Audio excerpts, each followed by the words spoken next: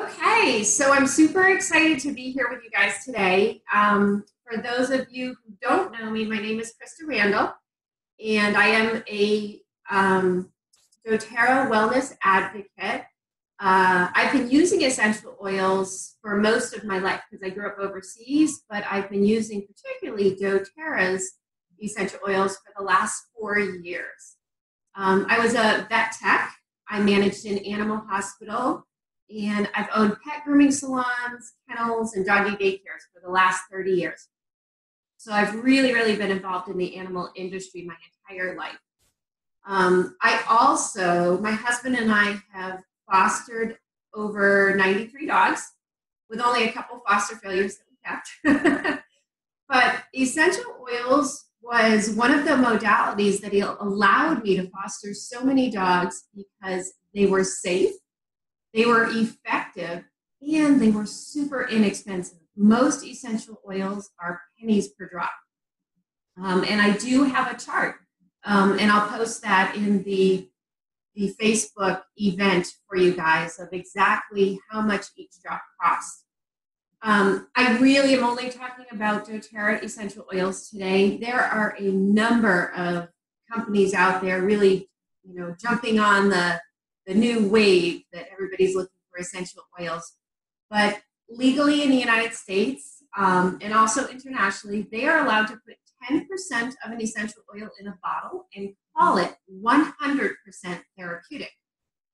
Therapeutic is a label that is only what it is intended for. It doesn't actually mean it's 100% essential oil. So there's a lot of um, fake essential oils out there uh, that are only fragrance compounds, synthetic fragrance compounds that can do a lot more harm than good to your pet even if you are using a brand just aromatically as a diffuser, because that is soaking directly into your mucous membranes, and that is a direct line to your bloodstream and your fur baby's bloodstream, your cat or dog, horse, guinea pig, hamster. So it's very, very important. A huge red flag on uh, perhaps an essential oil that you may have purchased at a health food store. Uh, is if they say for external use only. Um, for example, a peppermint oil, a peppermint leaf, we use that as um, flavoring. There is no reason that you should not be able to ingest internally 100% essential peppermint oil.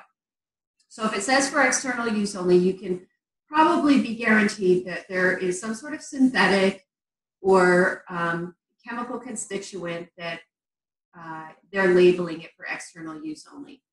Um, you may be tempted to choose a lesser or a cheaper brand of essential oil, but like many things, you get what you pay for.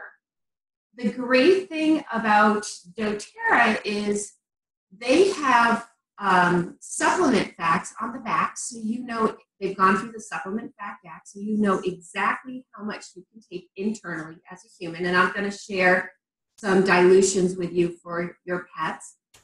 And they have also, on the very bottom of every single bottle of essential oil, there is a lot number.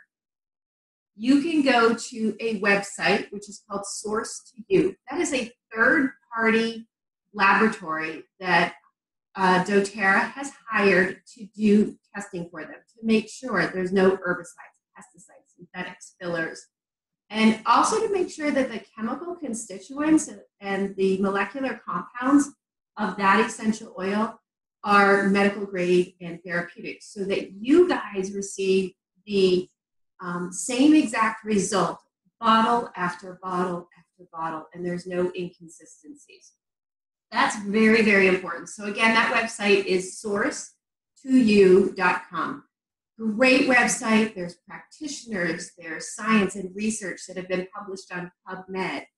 Um, so if you like more of the science end, it's a phenomenal. And it's also fun. Take your lot number, plug it into that website, and it's going to give you the laboratory results. So you know exactly what is in your bottle of essential oils. Um, so we're going to talk about um, five topics today. Uh, this is really part one of the series. I am actually going to do part two because I have so much to talk about with pets, but just to keep it sweet and uh, simple and not overwhelming, we're going to talk about ear care, which I think is a huge challenge, especially right now during the summer months. Cats are swimming. We're going to talk about allergies um, or rashes or some seasonal threats. We're going to talk about arthritis in lamenesses. Um, we're going to talk about flea and tick control because um, that's a big one for me, and I'm going to share with you why um, later. And we're going to talk about digestive challenges. So this is my model, Bella. Bella is an eight-year-old Brussels Griffon. She's a rescue from Chicago. Um, and uh, so I'm just going to demonstrate some of the recipes we're going to talk about. First of all, let's talk about ear care. So, um, labs, golden retrievers, Bernese mountain dogs, um, bloodhounds have dropped ears, and it's a warm, dark, uh, moist place for yeast and bacteria to grow, especially if your pet swims. I um, I live on Cape Cod in the summer times. I live on the water, and my swim every day. And in Florida, they go in the pool. So there's a very good chance water is in their ears every day. So I have to be proactive about taking care of their ears. Um, so we're going to talk first a, a basic ear cleaner. And this is Bella's secret sauce. And an ear cleaner can be so simple. Um, I like to use an organic witch hazel that's drying and helps dry any of that moisture out of there. It's non irritating. Uh, there are some recipes out there that use apple cider vinegar. I have found if a dog or cat does have an irritation already, apple cider vinegar, we know if we get it on a cut on our skin, it can sting, it can burn. Witch hazel doesn't do that. So I really find that it's a positive experience as well. Um, this is the exact recipe I use in all of my grooming salons, um, both on Cape Cod and down in Florida. So I, what I will do is um, there's two ways. You can mix it up in um, a glass jar. You can, uh, like a four ounce glass jar, you can fill it with the organic witch hazel. And then you can add 20 drops of lavender essential oil, which is very soothing, helps calm any type of irritated skin, any redness. Um, and then I add 20 drops of frankincense oil. Frankincense oil is an amazing anti inflammatory. Um, it's also antibacterial, antifungal, antiviral. So, whatever is going on or brewing in there, I can be assured that I am going to be able to support my pet's immune system naturally and um, clean out those ears. So you can mix that in a bottle, or if you're on the go, um, I keep this in Bella's travel bag. I take a mason jar and I fill it with the um, organic witch hazel. For a 16 ounce jar like this, you're going to um, quadruple that recipe. So that's a four ounce jar. So 16 ounces, I'm going to add 80 drops of lavender, 80 drops of frankincense. And then I just shake it, shake it, shake it. Now I then go to your local drugstore or even the dollar store and get those cotton rounds and you soak those cotton rounds in your ear cleaner. So now I just squeeze out the, the liquid. Now I've got a ready to go ear cleaner. So proactively, I clean Bella and I just wipe out the inside of her ears. Very, very important to use a separate cotton round per ear. So if she has, um, she does have one ear canal, it's a little smaller than the other, and every now and then it does get a little dark discharge.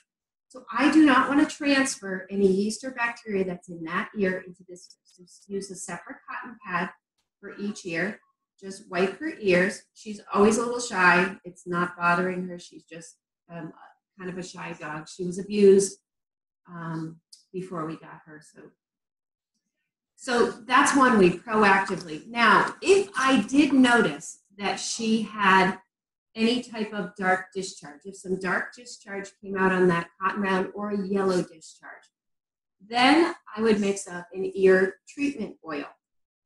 So in my ear treatment oil, I would use fractionated coconut oil. So this is a two ounce bottle, glass bottle. We always want to use glass or stainless steel when we're using essential oils. They are so powerful, they can pull the petrochemicals out of plastic. And so we're trying to avoid adding any other toxins or especially plastics are hormone disruptors for pets. There's a lot of pets out there that have thyroid conditions and they have Cushing's and Addison's, all um, hormone uh, based health challenges. So we're going to use a glass bottle. We're going to fill it with our fractionated coconut oil. Fractionated just means that it stays liquid all the time. So it's ready to use. If she did have any dark discharge, I would um, then apply um, to a two ounce bottle, I would apply 10 drops of frankincense oil for that antibacterial, antifungal, antiviral, 10 drops of lavender. Then I need to supercharge it a little bit. So, basil oil is um, a fabulous antifungal, antiviral. And I was just asked a question this morning, and Lois, I know you're online, um, if dogs can get vertigo and tinnitus and um, you know, be a little off base. So I, I, actually want to answer that question right here in line. Basil oil um, with a little fractionated coconut oil rubbed right behind the ear and layered with helichrysum oil rubbed right behind the ear is an ama- amazing support for that. And um, if you do that three times a day, that's going to help with that problem. So we're going to add that to our ear treatment oil. We're also going to add Arbor Vitae. Arbor Vitae um, is it it's so powerful. It's a, an amazing wood oil, and um, it protects the tree, the arbor vitae tree, from bugs and pests and termites and um, any wood boring. So it's an amazing um, antibacterial, antifungal, antiviral for our ear treatment.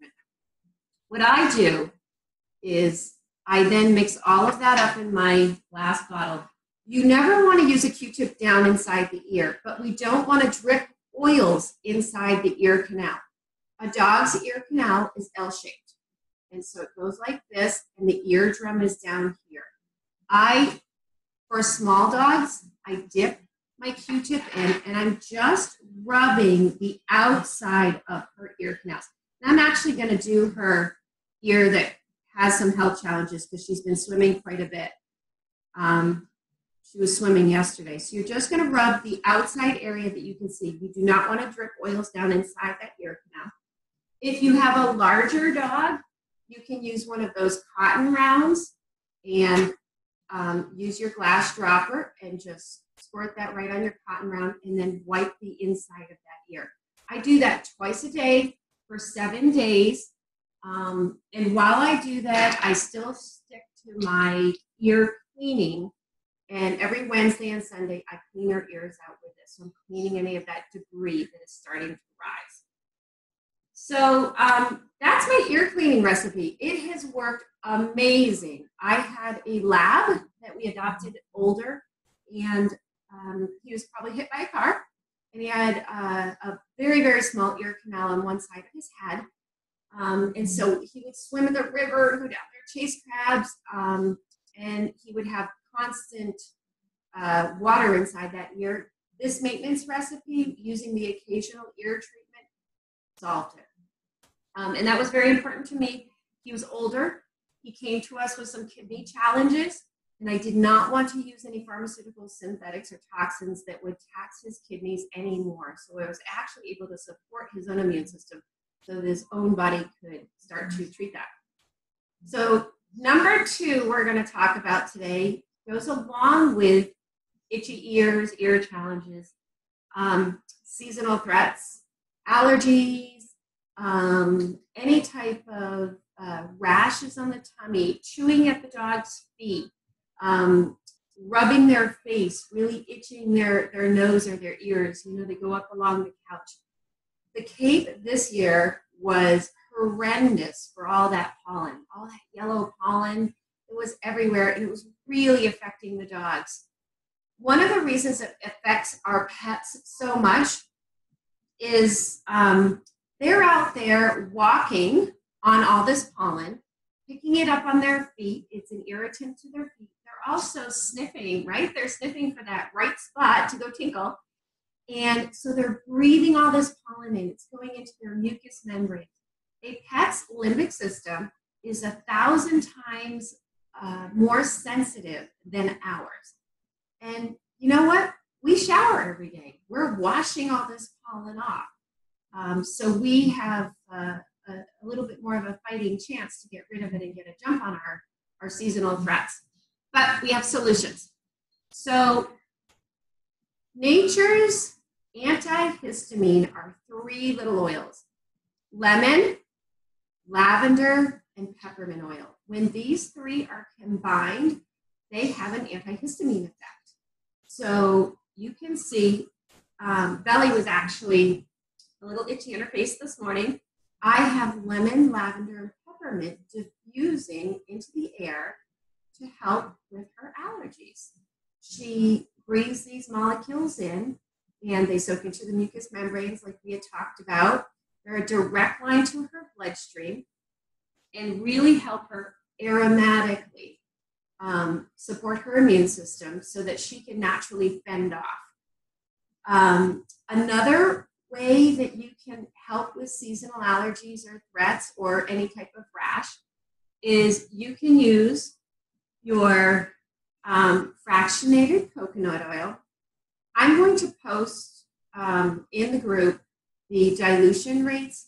For a young puppy under three months of age, I recommend one drop to a tablespoon of fractionated coconut oil. Very, very diluted.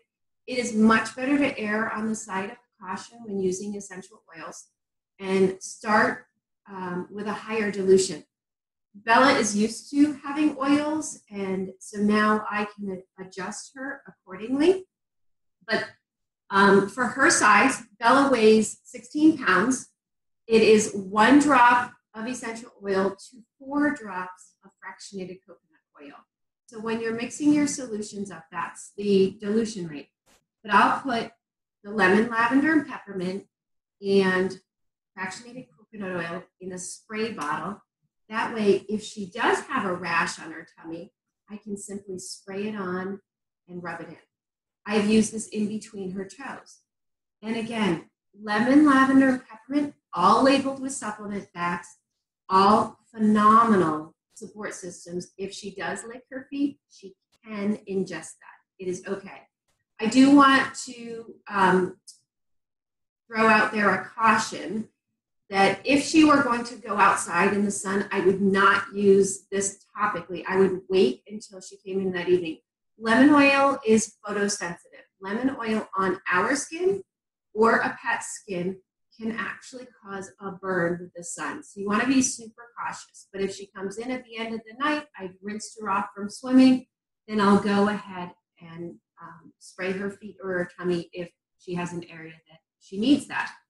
Taking it internally does not make you photosensitive, but topically, yes.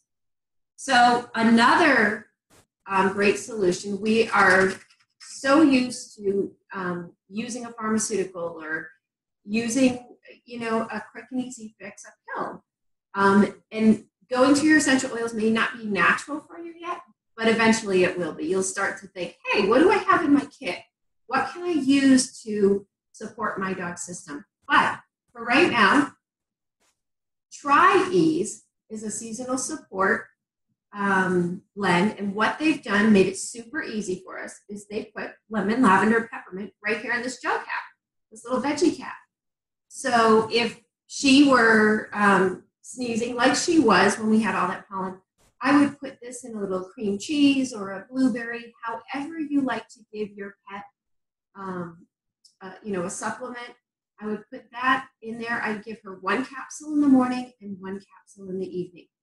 My lab, I would give him two in the morning, two in the evening for his size. So this is a super way. I do know that when I travel from Florida, heading back to the Cape, that that pollen's going to be here. So again, I'm proactive and I start her on her Tri-Ease about a week before we travel so that her immune system is able to fend off um, the itching, the scratching, the allergies, because those are all symptoms of an immune response. So um, we want to do that. I um, one last thing with allergies. I've been bombarded all the past um, several weeks with, "Hey, my dog's got a hot spot. My dog's got a hot spot. My dog's got a hot spot." And a hot spot can be um, on your face, on your side, on your ears. Golden retrievers, Burmese mountain dogs, Labrador retrievers are all really, really prone to hot spots. This is a super easy fix. You moisten your um, black tea bag. The tannins in the black tea bag are going to help draw out and dry up that moist, crusty, gooey hot spot that your pet may have gotten from um, scratching. So you're going to moisten your tea bag. You're going to take one drop of lavender oil, put it on that tea bag, and steal my frankincense from over here. One drop of frankincense, put it on that tea bag. You're just going to hold that with the lavender frankincense side down on your pet. Do that three times a day, and your hot spot is going to dry right up for you. Quick and easy fix costs you pennies. That's like a 20 cent fix. Um, all right, number three is lameness and arthritis. So Bella is only eight. She's um, she doesn't really have lameness or arthritis, but my two past dogs um, were quite old and did. So I actually have Capone was my last little guy, and um, this is his lameness blend that I have mixed up. Essential oils do not have an expiration date, so I keep it. You know, she she might strain herself on the beach running around. Um, she even though she's got this bow in her hair, she's quite a little tomboy, so she's always down there chasing those crabs. Um, what I like to do is, again, for a, a 20 pound dog, 15 to 20 pound dog, it's one drop of essential oil to four drops of, um, or one drop, excuse me, of, yeah, essential oil to four drops of fractionated coconut oil. So I will mix up um, about three quarters of my bottle, my glass spray bottle or pump bottle, with fractionated coconut oil. The four oils that I have found are the most effective for arthritis and geriatrics, or maybe that lab who has strained his ACL, or you might have a friend who's got a dachshund.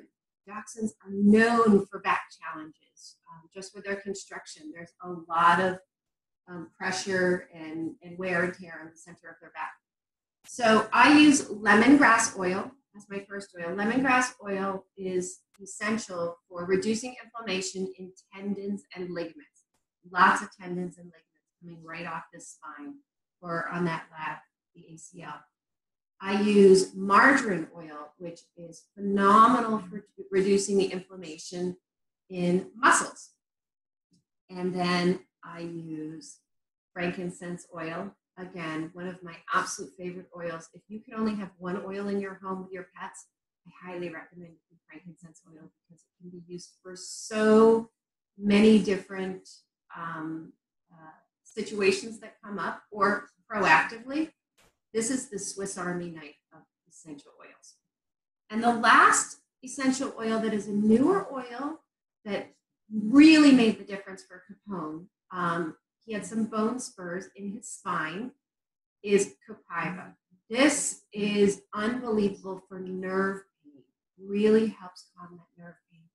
So I mix those up in my little glass bottle and I apply one pump to the center of her spine in between her shoulder blades. The reason we apply it on the spine, you just lift that hair up, do one drop right there, and rub it in, is it goes directly into the central nervous system, which is a direct line into all of those um, ligaments and muscles and, and organs. So it's going to penetrate through her body within 20 minutes. Everything that we put on our skin topically in our pets soaks into the skin within 20 seconds, surfaces every cell in their body in 20 minutes. So if I put that on Capone in between his shoulder blades, I would have also put it in be, on his center of his back, right on his spine, and in between his hip bones. So maybe you have those German shepherds or those big guys that have some hip dysplasia and you're wanting to comfort them. Those three areas. My geriatrics, my lab was 17. So proactively, his um, therapy was applying that twice a day. So when I was preparing breakfast and supper, I would also use this as um, his support. He was never, again, on any pharmaceuticals, even at the end. He would run down there and play on the beach. Another great support for arthritis and inflammation and lameness is your omegas. Just like humans, our bodies require um, plant based omegas, marine based omegas. Um, and so Bella gets those little capsules. It's krill oil. It gets she gets one in the morning in her food and one in the evening in her food. A larger dog, um, a lab, would get two in the morning and two in the evening. There are a lot of omegas out there. We may, and actually, I have a brand that I chose that I had hanging around. So there's lots of essential oils out there, um, or there's lots of omegas out there that um, you can uh, put on your dog's food, but they haven't been tested for heavy metals and toxins and synthetics. Um, and, and so I really can't recommend them. So I do recommend the XEO Omega. Um, all right, our next topic, which is another huge one right now, is flea and tick control.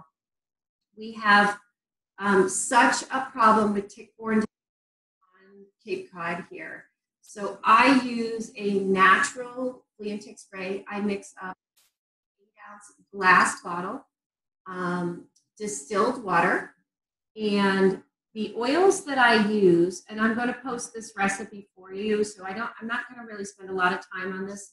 I'm only going to tell you um, the reason that I did this is my little Capone was given um, heartworm preventative um, about four years ago. And the very next day after we gave him his heartworm preventative, because heartworm are so pre- prevalent in Florida, he was 100% blind. He had a pharmaceutical reaction to it, and about 10,000 dogs a year have this. Um, unfortunately, it is in that five foot pamphlet that is in his um, heartworm preventative package. Um, I should have been more cautious. I know now. So I do not use anything that there possibly could be a side effect. So flea and tick, I use peppermint essential oil, cedar wood, which is very effective for ticks, um, lavender essential oil, geranium essential oil, and arbor vitae essential oil. This recipe is great for cats as well. You just want to remove the peppermint essential oil. Um, and I'm going to post the recipe so we don't spend a lot of time on that. But um, I took her hiking yesterday in the woods. I just lightly misted her. I checked her when we got home. I used that same spray on myself. Neither of us had any ticks. And we, we did a six mile hike in the Punkhorn yesterday. My last one I want to talk about is number five is digestive challenges. This is a biggie here, again, because I have a little tomboy who likes to eat things on the beach. But so many of us encounter situations where our pet is vomiting or has diarrhea, gas, um, upset stomach, that, that squealing tummy, um, or maybe motion sickness in the car, maybe gets um, ill in the car. They do make car diffusers, and so you can simply use our DigestZen, our digestive blend which is a combination of several different oils. You've got ginger, you've got fennel, you've got peppermint, all those oils that um, help calm and soothe our tummies. There's a couple ways to use those aromatically um, in our diffuser. Uh, topically, I would add four drops of our, our fractionated coconut oil to one drop of the DigestZen and I would just simply rub it right on her tummy if she was having any type of problem. If I've seen she's down there eating seaweed or something yucky, I do it preventatively because I don't want to clean up the house. Um, so topically, you can use it that way. We um, we do have a lot of this going on just because of where we live. So I have taken an old DigestZen bottle and actually mixed up the proper dilution, and I put a little spray bottle on. So now I can just simply spray her tummy, and I, I it's already ready for me.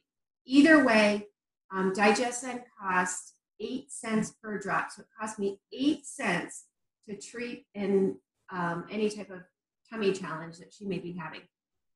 Another way, um, the lab, again, they've made this super easy. They put DigestZen, in a softgel. She could have one capsule in the morning, one capsule in the evening, um, and a, lab size would get two capsules in the morning, two capsules in the evening. And usually by day two, um, the end of day one, when you wake up the next day, most of your digestive challenges have been alleviated. Talking, um, I'm going to let our model go here. Talking about digest, uh, digestive challenges, allergies, rashes, chewing feet, ear challenges, um, all of those are immune responses. So it's very, very important that your pet's immune system is in tip top shape.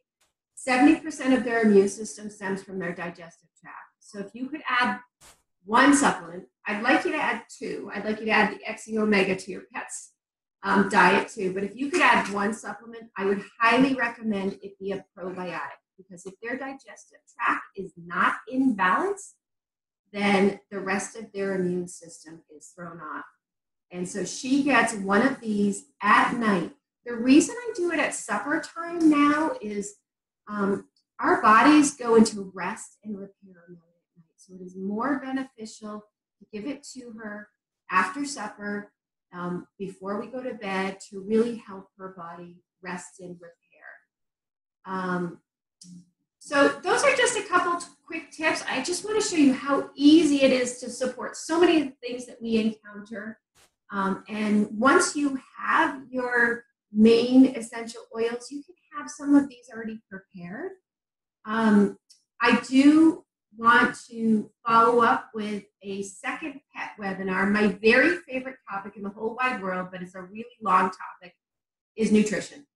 I am huge on nutrition. If you are not putting um, proper nutrition, live enzymes into your pet's body, you're always going to have health challenges. You're always going to have um, uh, some immune response problems because there's no live nutrition for them to repair themselves.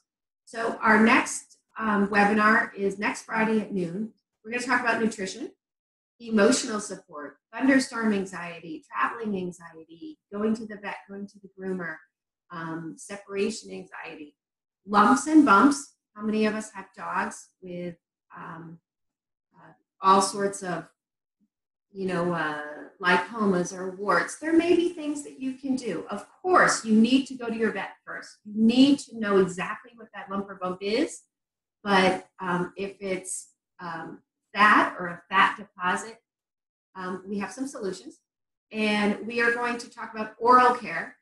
I know, especially with a lot of little dogs, oral care and dentals, a lot of dogs are going under anesthesia every year for dentals. There's things we can do proactively to help you avoid dangerous anesthesia um, and, and losing those teeth.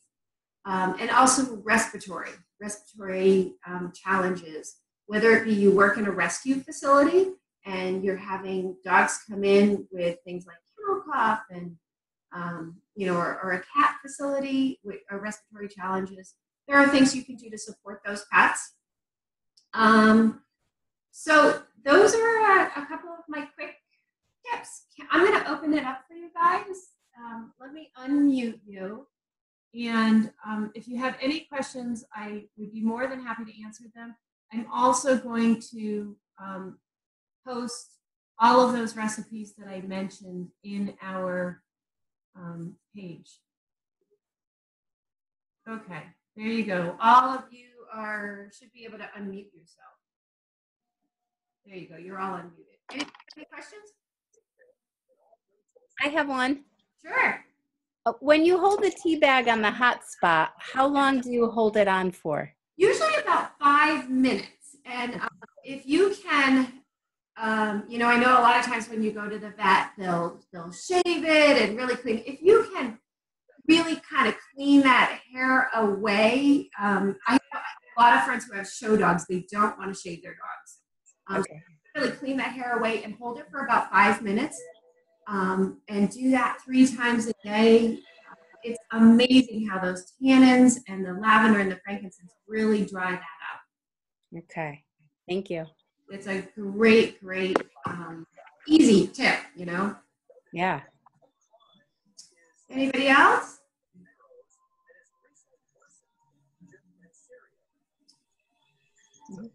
But these are all, you know, it, these were all recipes that a lot of times when I brought in my foster dogs into the, the I have a question. sure. Um, where did you get your sprayer for your um, DigestZen bottle and all the other smaller bottles? You know what? Um, currently now, doTERRA does have um, in your uh, LRP, they are offering sprayers and tops and drops, but I, I bought these before. They were offering those and I bought them on Amazon. All I did, this is a, um, the DigestZen